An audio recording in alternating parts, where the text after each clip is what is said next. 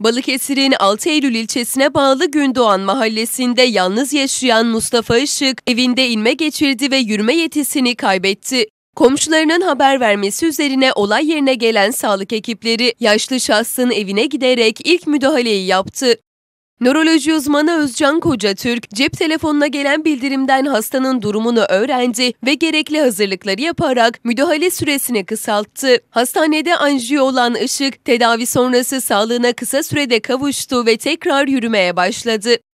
Mustafa Işık'ın vakasına giden acil tıp teknisyeni Gülsüm Gökçe, 3 Ekim tarihinde gittikleri vakada inme 112 mobil uygulaması sayesinde durumu hemen inme merkezine bildirdiklerini ve tedavi süresinin kısaldığını söyledi.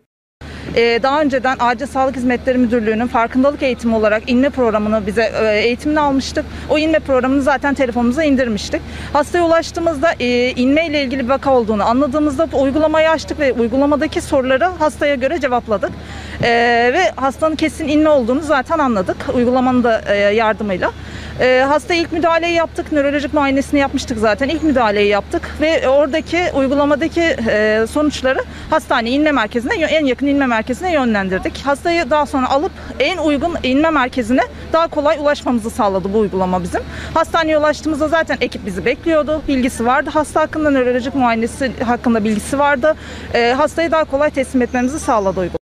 Nöroloji uzmanı Özcan Koca Türk'te İnme 112 mobil uygulamasının da faaliyete geçmesiyle birlikte hastanın hastaneye getirilmeden önce tüm hazırlıkların yapıldığını ve tedavi süresinin kısaldığını belirtti. Amacımız e, daha çok insana daha erken süre müdahale etmek. İnmenin e, inme geçiren hastalarda beyin damar tıkanıklığı olduğu zaman en hızlı zamanda o tıkanık damarı açmamız lazım. E, bizim hasta yapacağımız en, en büyük fayda bu oluyor. Burada hız çok önemli, zaman çok önemli. Yani onun için iğne aplikasyonunun e, devreye girmesiyle birlikte e, daha çok hastaya e, daha hızlı bir şekilde müdahale etme şansımız oluştu. 10 dakika zaman kaybettiğimiz zaman hastanın düzelme ihtimali ihtimali ortadan kalkıyor. Şöyle anlatayım. Eğer bir hastada yarım saat zaman kaybedersek o hasta normal yürüyebilecekken tekerlek sandalyeye bağlı olma riski var.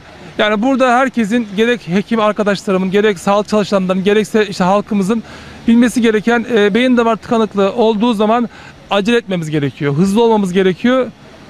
Bir an önce o damarın açılması, açılması gerekiyor. Aksi takdirde kalıcı beyin hasarı oluşuyor. Geçirdiği rahatsızlık sonucu hastaneye kaldırılan ve kısa sürede sağlığına kavuşarak tekrar yürümeye başlayan Mustafa Işık ise tüm sağlık çalışanları ve Cumhurbaşkanı Recep Tayyip Erdoğan'a teşekkür etti.